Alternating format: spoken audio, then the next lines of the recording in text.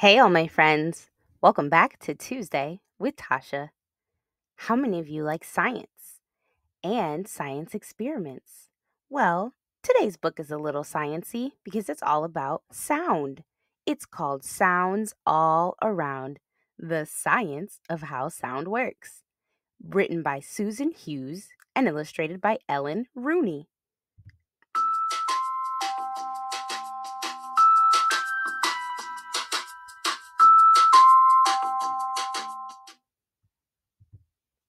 Sounds all around. The science of how sound works. Summer, sunlight, a gentle breeze blowing the clouds. It's so quiet. Then, zzz, a honeybee. Such a tiny insect, but its beating wings make a big sound in the silence.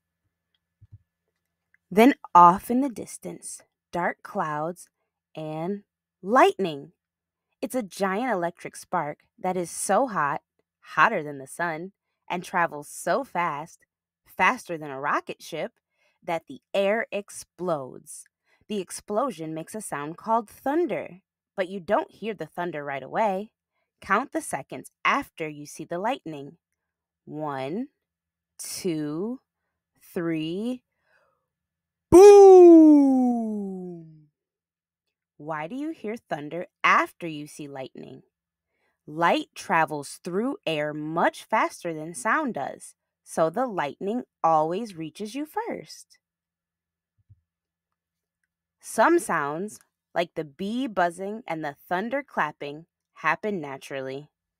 A cat purring, a rooster crowing, waves washing the shore, subway wheels squealing around a bend, rain dripping from an eaves trough, you sneezing. Other sounds are made to communicate something an ambulance siren wailing, a school bell clanging, an alarm clock ringing, your voice calling to a friend. How does sound happen? Try this. Pluck a guitar string. Now, watch as the string moves back and forth very quickly. The string is vibrating, and this makes the air around the string vibrate too. Once the air is on the move, the vibrations travel outward in waves. These waves spread in all directions, including deep into your ear. Inside the ear canal, the sound waves make your eardrum vibrate, and this vibration makes thousands of tiny hairs shiver. These shivering hairs turn the sound energy into signals which travel straight to your brain. Aha! Your brain tells you you're hearing a sound and what that sound is.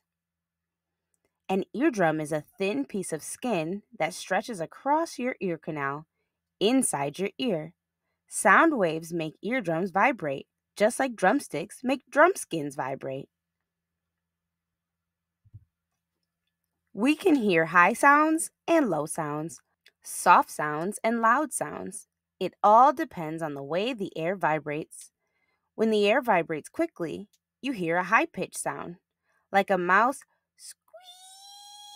squeaking or a flute trilling. Very high pitched sound, called ultrasound, is so high that human ears can't hear it. But some animals, such as dogs, bats, opossums, and porpoises, can hear it. They even use ultrasound to find their way around. Have you ever yelled in a cave or a canyon and heard the echo of your voice bounce back? When bats fly in the dark of night, they find their way by sending out very high pitched sounds. When the echoes bounce back to them, the bats can tell that something lies in their path. This is called echolocation.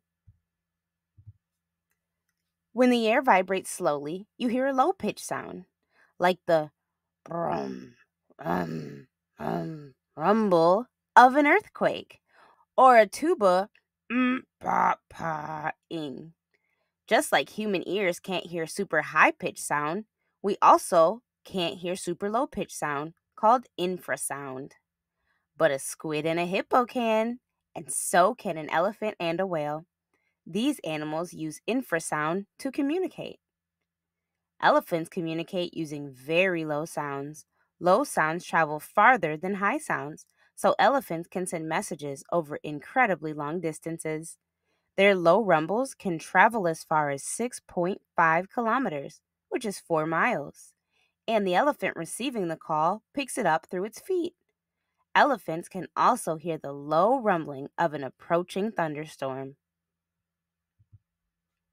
Sometimes air vibrates gently. It carries only a tiny bit of energy. It presses lightly against your eardrums. The sound is soft, like when leaves rustle or a pin drops on the floor. Have you heard the expression, so quiet you can hear a pin drop? Try it. Drop a pin on the floor. What changes do you have to make around you before you can hear it hit the floor? How quiet does it have to be? Sometimes air vibrates with a great amount of energy.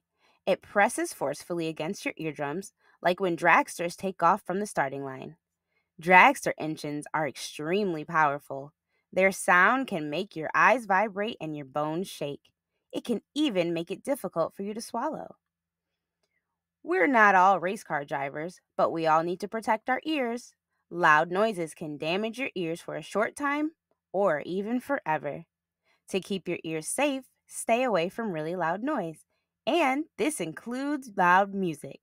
If you know you're going to be near loud music, like at fireworks display, a construction site, an air show, or a sporting event, be sure to wear earplugs or industrial earmuffs. High sounds, low sounds. How do we measure pitch? It depends on how quickly the air vibrates. We find the pitch by measuring the sound vibrations during a set period of time. One vibration per second is a hertz. Turtles can hear sounds that are only 20 hertz. That's very low. Beluga whales can hear sounds that are 123,000 hertz. That's very high. Look at the high and low sounds some animals can hear compared to humans. If a honeybee's wings beat at a pitch of 200 hertz, would a bullfrog be able to hear it? What about a bat? Soft sounds, loud sounds, how do we measure sound? As you learned earlier, when an object vibrates, it makes the air around it move. We use decibels to measure how much energy is in the vibrations or how loud a sound is. The rustle of leaves is only 20 decibels. A rocket launch is 180 decibels. Look at how soft and loud sounds can be. An explosion or sudden blast makes a special kind of wave energy called a shock wave. It creates a shockingly loud sound. The storm is over, the sunlight has returned, and the quiet, but not quite. Do you hear that sound? The tiny honeybee is buzzing loudly home again. Wow, what an awesome book to tell us everything we need to know about sound. Sound is a lot more complicated than I ever knew. Make sure you go back and listen to the story again so you can answer the questions and try the little experiments that were suggested along the way. There were so, so, so many fun facts in here that I know you can't only listen to this story just once. Make sure to click the link in the description box if you love this book just as much as I do, or if you want to keep learning about sound forever.